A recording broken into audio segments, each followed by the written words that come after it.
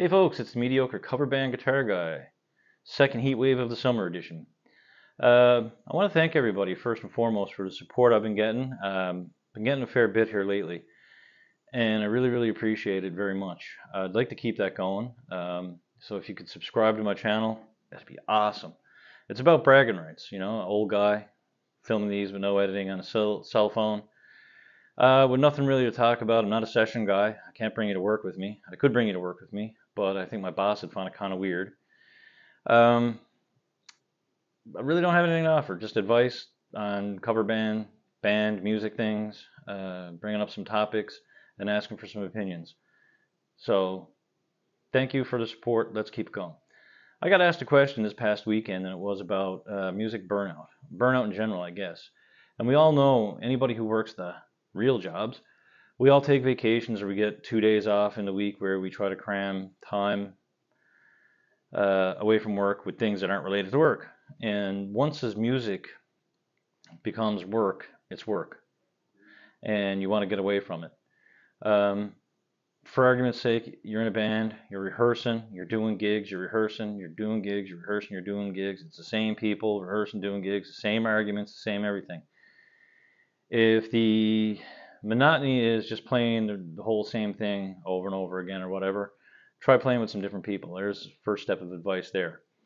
Um, if you're somebody who's playing five, six nights a week, seven nights a week, you might want to try to step away. And that's easy for me to say. I have a day job. So for the guys, the folks that are out there playing constantly, it might not be that easy, especially with the pay scales being what they are right now. And you know, I'm harping on that still. I'm always going to harp on that until it gets better.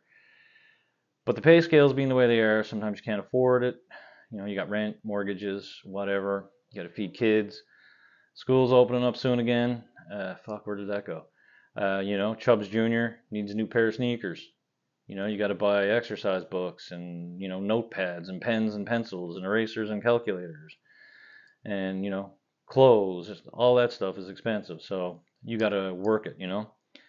Um, just like everybody else. Don't get me wrong. I'm not saying it, you know, but we don't as musicians, if you're not working, you don't have that fallback plan.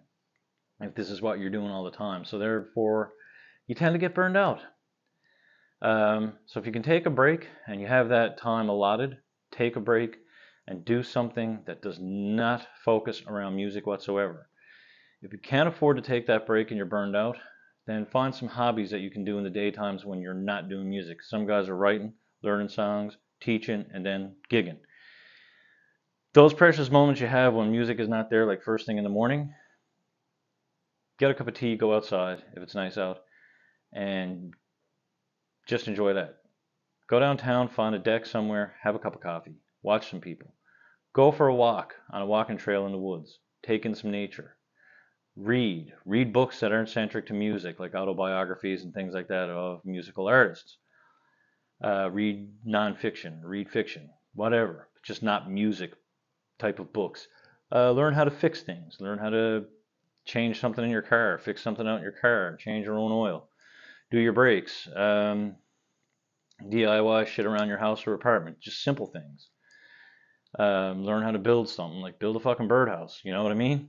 Um, I don't recommend getting shit faced drunk all the time to forget about your problems because that's going to fuck your gigs up. Um, but just find things that you can walk away if it's something you need to do that's spiritual, do that. Uh, and it might help with the whole burnout, the whole monotony, and whatever. I know 2017, man, we were, like I said, we were before, we were flat out. We, um, we did gig after gig after gig after gig after gig. I think in the summertime, we did like seven out of town festivals right in a row. Uh, luckily, my ex wife uh, worked around that with me. Um, you know, because we I have shared custody of my children, and uh, that was the other thing. You know, you're balancing one week you can't really play gigs because you got the kids around, and we wouldn't take gigs when we had our children around. It was the off week when they were with our respective exes uh, that we played, and we played every weekend. So weekends we had the kids, it was filled with doing things with the kids, and then weekends that we had for ourselves were playing, and which was it became work after a while. You were going to work because you're being professional and you're being paid to play. So it's work. It is a job to a degree. And yes, I know I got those guys that are going to come on with the comments and go, "Well, I don't do it for money," but we do. We're different. We do it. We did it to offset income. I at the time didn't have the job I have now and needed to offset my income uh, to survive. Therefore, it became work. It became a second job. So it's great if you don't need money. You know, if you're happy living in a room where your toilet is next to your stove, awesome. And your bedroom door is a shower curtain, awesome. That's great. Or you make a lot of money and you don't give a shit about people who have no money. That's up to you. But we worked hard and then it became to a point after COVID we realized we were burned out because we got to enjoy some weekends at home. All of a sudden on Friday you got off work, came home. I was still doing a lot of overtime and I had nothing going on. It's like I came home, put my feet up. We watched movies. I might have some beer or not. And uh, we relaxed. We got up Saturday, did some housework, repeat, watch movies, relaxed. Sundays, food prep, went to bed, went to work again. That was it. And when COVID was over, this is when it really kicked in that we were burned out because we started playing heavily again. Once it was over, we were playing every second weekend, whatever we could get that wasn't nailed down, and it just wasn't as much fun because we were doing it too much. So now we do it every now and then. I got a gig coming in two weeks, which is getting ready to learn some songs now uh, for rehearsal. I think we're going to try to go in with four new ones, and uh, I'm looking forward to it because we haven't played in a few weeks. So that's that's where I'm at now. But like I said, if you're burned out, find things that aren't related to music to do. Whether if you can only get an hour a day at it because you're gigging that night, you can't go and do those things or whatever. If you can get up in the morning and go for a hike, like one of my favorite things to do after a Friday night gig when I had to play again Saturday night was probably around lunchtime.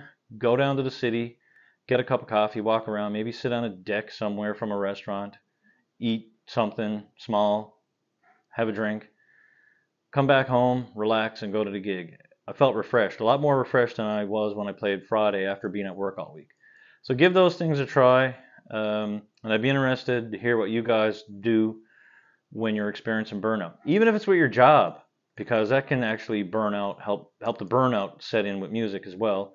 And having a day job and having the music for people that are balancing that, you know, feel free to chime in, even if you're not a musician and you have something you do like to get rid of stress at work. If play fucking paintball, whatever, comment. I'd like to hear. Anyway, guys, thank you very, very much for being here, and we'll see you next time.